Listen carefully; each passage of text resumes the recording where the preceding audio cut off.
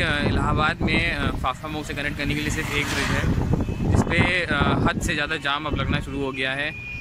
और गवर्नमेंट इस पर बिल्कुल अब नज़र नहीं रख रही है कि इसमें जो हैवी ट्रैफ़िक को मैनेज करने के लिए एक नया ब्रिज तैयार किया जाए।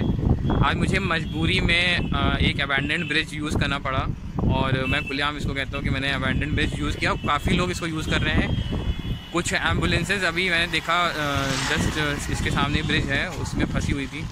तो मेरी यूपी गवर्नमेंट से इतनी गुजारिश होगी कि इसमें एक नया ब्रिज बना के आप उसको वन वे करिए। इससे पहले अभी मैंने आपको दिखाया जो हमारी वंदे भारत एक्सप्रेस है, वो जस्ट सामने से गुजरी। तो उसका बहुत खूबसूरत नज़ारा मुझे देखने को मिला। मैंने फ़र्स्ट टाइम अपनी आँखों से वंदे भारत देखी। इलाहाबाद हाई कोर्ट के कुछ इश्यूज़ हैं, जिसको लोग ऑब्जेक्ट कर रहे हैं दूसरी जगह में कि हमें इलाहाबाद आने में दिक्कत होती तो इलाहाबाद आने में दिक्कत क्यों ना हो?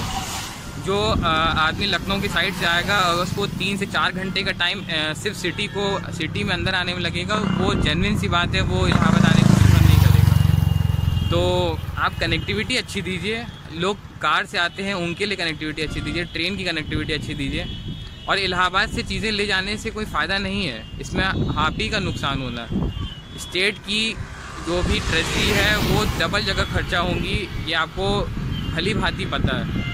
तो ये सोशल ब्लॉग अभी ख़त्म करता हूँ। मुझे किसी का अर्जेंट काम से जाना है। अभी देखता हूँ आगे मुझे कितना टाइम लगता है।